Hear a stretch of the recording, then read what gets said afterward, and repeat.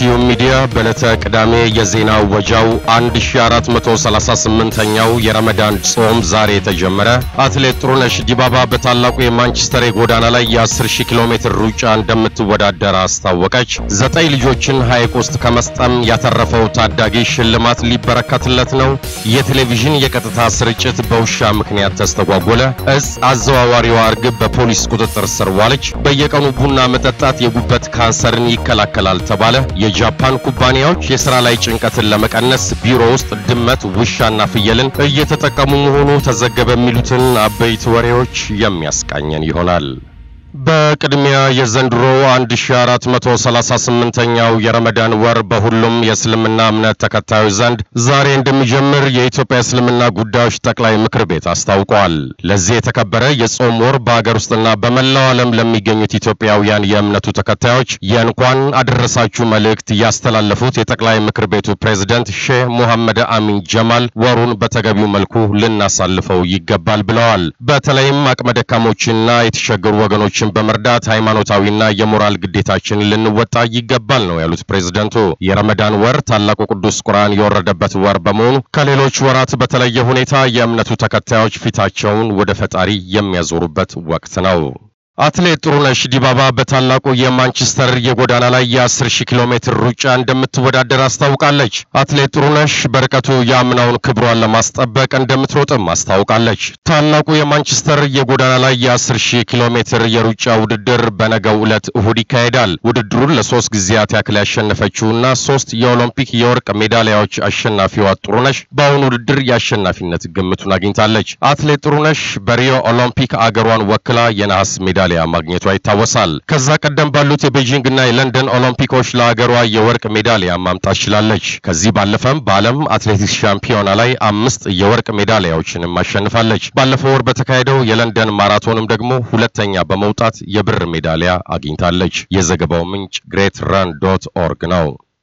ዘጠኝ ልጆችን ሐይቅ ውስጥ ከመስጠም ያተረፈው ታዳጊ ሽልማት ሊበረከትለት ነው ተብሏል። ታንዛኒያዊ ታዳጊ በቪክቶሪያ ሐይቅ ሊሰጥሙ የነበሩ የዘጠኝ ታዳጊዎችን ሕይወት ታድጓል። ይህ የ16 ዓመቱ ቴስኬዋ ጋሙንጉ የሚባለው ታዳጊ በሕይወት ያተረፋቸው ታዳጊዎች ሊሰጥሙ የነበረው ጀልባቸው በመገልበጧ ነው። ታዳጊው በዚህ አስደናቂ ስራው ሁለት ሚሊዮን የታንዛኒያ ሽልንግ ወይም 894 የአሜሪካ ዶላርን በሱሌይማን ኮቫ ፋውንዴሽን አማካኝነት ነት ሊበረከትለት መሆኑ ተነግሯል። ታዳጊው የነፍስ ማዳን የቴክኒክ ስራዎችን እንዲሰለጥን እድል ሊመቻችለት መሆኑም ተጠቁመዋል። በሕይወት የተረፉት ዘጠኙ ታዳጊዎች የቲስኬዋ የትምህርት ቤቱ ጓደኞች ናቸው። ታዳጊው ከዕድሜው በላይ የሆነን ከባድ ስራ መወጣቱ አድናቆትን ያስገኘለት ሲሆን ሊበረታታ ይገባልም ተብሏል። ቴስካዋ በሕይወት ያተረፋቸው ልጆች ጀልባዋ ስትገለበጥ በሕይወት ከተረፉት 21 ልጆች መካከል ሲሆኑ ሶስቱ ልጆች እስካሁን የገቡበት አልታወቀም። የዘገባው ምንጭ ዘ ነው።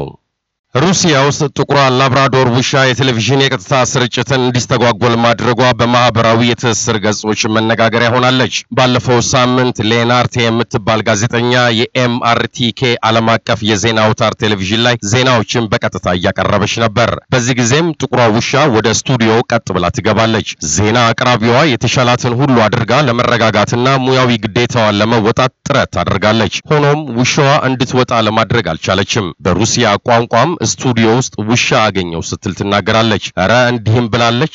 በውሻው ስቱዲዮ መግባት በአንድ በኩል የተደሰተች በሚመስል ውሻውን አቅፋ እዚህ ምን እየሰራሽ ነው ስትላትም ሩሲያውያን የቴሌቪዥኑ ተመልካችና የመላው ዓለም የማህበራዊ የትስስር ገጽ ተጠቃሚዎች ተቀባብለውታል። ጋዜጠኛዋ ይህን እያለች በነበረበት ቅጽበትም ጥቁሯ ላብራዶ ውሻ ቀጥ ብላ ከካሜራ ፊት ለፊት ያለው የዜና ማቅረቢያ ጠረጴዛ ላይ ትወጣለች። በዚህም ውሻዋ ሙሉ በሙሉ ወደ ጠረጴዛው ከወጣች በኋላ በካሜራ አይን ውስጥ በመግባት ለተመልካች ትታያለች። ላብራዶር የተሰኘችው ውሻ በአካባቢው ያለውን መዓዛ ማሽተትና በድምጿ ስቱዲዮውን አዲስ ድባብ ትፈጥርለታለች። ዜና አቅራቢዋም የውሻዋ ሁኔታ አንጀቷን ስለበላውና ልቧን ስለነካው የውሻዋን ሰውነት መዳሰስና አቅፋት ማውራት ትቀጥላለች። ይህም ጋዜጠኛዋ እንደ ውሻ ያሉትን እንስሳት አፍቃሪ መሆኗን ያሳያል እየተባለ ሲሆን መጠነኛ ድንጋጤ ባዘለ ፈገግታ ፕሮግራሟን አቅርባለች። ከማሰራጫ ጣቢያው የወጡ መረጃዎች እንደሚያሳዩት ውሻዋ ወደ ዜና ማሰራጫ ማዕከሉ የተወሰደችው ሌላ ፕሮግራም ለማቅረብ መሆኑ ተነግሯል። ሆኖም ቁጥጥር ስላልተደረገና ስለተለቀቀች ባልተጠበቀ ሁኔታ በሌላ ፕሮግራም ውስጥ ወደ ስቱዲዮ አምርታ በተመልካች አይን ውስጥ ገብታለች። የጋዜጠኛዋና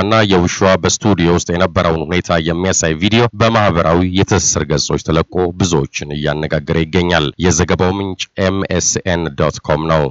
የኩዌት ፖሊስ እጽ በማዘዋወር ላይ የነበረች እርግብ በቁጥጥር ስር ማዋሉ ተሰምቷል። የኩዌት የጉምሩክ ባለስልጣናት እንዳስታወቁት በቁጥጥር ስር የዋለችው እርግብ በጀርባዋ ላይ በተደረገላት ትንሽዬ ቦርሳ አማካኝነት ነው እጹን ይዛ ስትጓዝ የነበረው። በእርግቧ ጀርባ ላይ በተደረገላት ቦርሳ ውስጥም 178 የአደንዛዥ እጽ እንክብሎችን ይዛ ስትጓዝ በቁጥጥር ስር መዋሏም ተገልጿል። እርግቧ አክዌት አብዳሊ የገቢዎችና ጉምሩክ ህንፃ አቅራቢያ በቁጥጥር ስር የዋለች ሲሆን ስፍራውም የኢራቅ ድንበር አቅራቢያ ነው ተብሏል። የኩዌት ባለስልጣናት ወፎች አደንዛዥ እጾችን ለማዘዋወር እየዋሉ መሆኑን ቀደም ብለው የደረሱበት ሲሆን አሁን የተያዘችው እርግብ ግን የመጀመሪያዋ መሆኑም ታውቋል። በፖሊስ ቁጥጥር ስር የዋለችው እርግብም አደንዛዥ እጹን ከኢራቅ ወደ ኩዌት በማዘዋወር ላይ ሳይሆን እንዳልቀረች ነው ባለስልጣናቱ የገለጹት። የዘገባው ምንጭ ቢቢሲ ነው። ተመራማሪዎች በየቀኑ ቡናን መጠጣት በርካታ የጤና ጥቅሞች እንዳሉት ከዚህ ቀደም በተሰሩ ጥናቶች የተረጋገጠ ሲሆን አሁን ደግሞ የጉበት ካንሰርን እንደሚከላከል አውቀናል ብለዋል። የሳውዛምፕተን ዩኒቨርሲቲና የአንደብራ ዩኒቨርሲቲ ተመራማሪዎች በጋራ ባጠኑ ጥናት በየቀኑ ቡና የሚጠጡ ሰዎች በጉበት ካንሰር የመጠቃት እድላቸው ዝቅተኛ መሆኑን ጠቁመዋል። ከ2.25 ሚሊዮን በላይ ሰዎች ላይ ከተሰበሰቡ 26 ሰነዶች በተገኘው መረጃ ላይ ተመስርተው በሰሩ ጥናት በየቀኑ አንድ ሲኒ ቡና የሚጠጡ ሰዎች ሀያ በመቶ በጉበት ካንሰር የመያዝ እድላቸው እንደሚቀንሱ ነው ተመራማሪዎች አረጋግጠናል ያሉት። ጥናቱ ሁለት ሲኒ ቡና በቀን የሚጠጡ ሰዎች ደግሞ በበሽታ የመጠቃት እድላቸው እንደሚቀንስ ያመለክታል። ተመራማሪዎቹ በየቀኑ አምስት ሲኒ ቡና የሚጠጡ ሰዎች በጉበት ካንሰር የመያዝ እድላቸው በግማሽ በመቶ የቀነሰ ነው ብለዋል። የጥናቱ አዘጋጅና የሳውዛምፕተን ዩኒቨርሲቲ ተመራማሪው ዶክተር አልቬር ኬኔዲ እንደሚሉት ቡና በርካታ የጤና ጥቅሞች እንደሚሰጥ ይታወቃል። በቅርብ ጊዜ ደግሞ የጉበት በሽታን የመከላከል አቅሙ ከፍተኛ መሆኑ መረጋገጡ ለዓለም ሕዝብ መልካም ዜና ነው ብለዋል። ተመራማሪዎቹ ቡና በሽታን ለመከላከል እጅግ ጠቃሚ የተፈጥሮ መድኃኒት መሆኑን አረጋግጠናል ያሉት የዘገባው ምንጭ NetDoctor dot com ነው።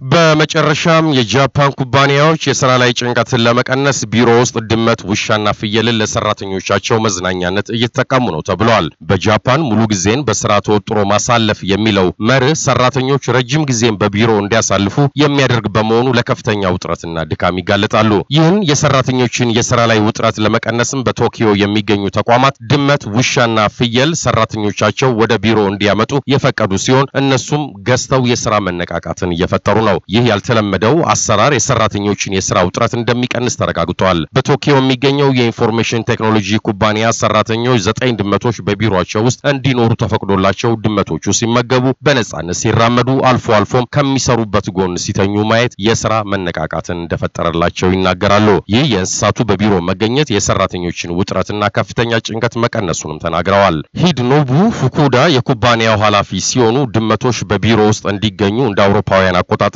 በ2000 በአንድ ሰራተኛቸው የቀረበውን ሀሳብ ተግባራዊ እንዲሆን ፈቅደዋል። ሰራተኞችም በቤቶቻቸው ውስጥ ያሉ ድመቶቻቸውን ወደ ቢሮ የማምጣትና ዘና ብሎ የመዋል መብት አግኝተዋል። ድመት ለማይፈልጉና በቤታቸው ለሌላቸው ሰራተኞች ደግሞ ኩባንያው በየወሩ የ45 ዶላር ሽልማት አዘጋጅቷል። ሌሎችም የጃፓን ኩባንያዎች የሰራተኞቻቸውን በስራ ምክንያት የሚመጣ ጭንቀትና ድብርትን ለመቀነስ እንስሳትን ወደ ቢሮ እንዲመጡ ፈቅደዋል። ኦራክል ጃፓን የተባለው ኩባንያ በበኩሉ ሰራተኞች ስራቸውን በትጋትና በደስታ እንዲሰሩ ውሏቸውም መልካምና ጭንቀት የሌለበት እንዲሆን ውሻ በቢሮ ውስጥ ተፈቅዶላት ገብታ እንድትዝናና አድርጓል። ኩባንያው እንዳለው ከፈረንጆቹ 1991 ጀምሮ ጸጉራም ውሻ በቢሮ ውስጥ እየተንቀሳቀሰች ሰራተኞችን እንድታበረታታ አድርጓል። ከዚህ በተጨማሪም ሰራተኞች በቢሮ ውስጥ ኢንስታግራም እና ትዊተር እንዲጠቀሙ አድርጓል። ፓሶና ግሩፕ ደግሞ ከ2011 ጀምሮ ሁለት ፍየሎችን ገዝቶ በቢሮ ውስጥ በሚያደርጉት እንቅስቃሴ ሰራተኞቹን እንዲያበረታቱለት እያደረገ መሆኑን ገልጿል።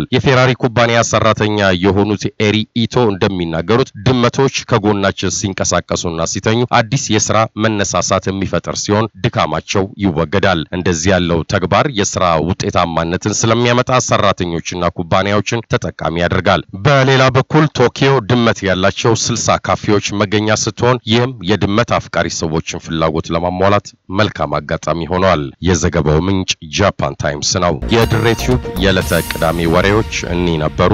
መልካም ቀን ይሁንላችሁ።